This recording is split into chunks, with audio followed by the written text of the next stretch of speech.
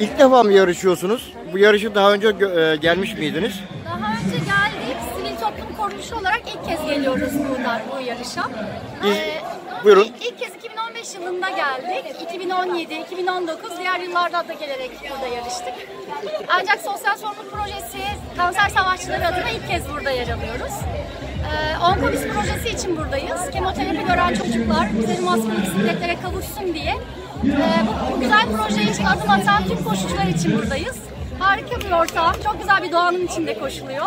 İzmir Ultra'dan e, çok keyifle dönüyoruz. Umarım bundan sonraki yıllarda da aynı keyifle burada yer alırız. İlk koşun hakkında ne düşünüyorsun bakayım?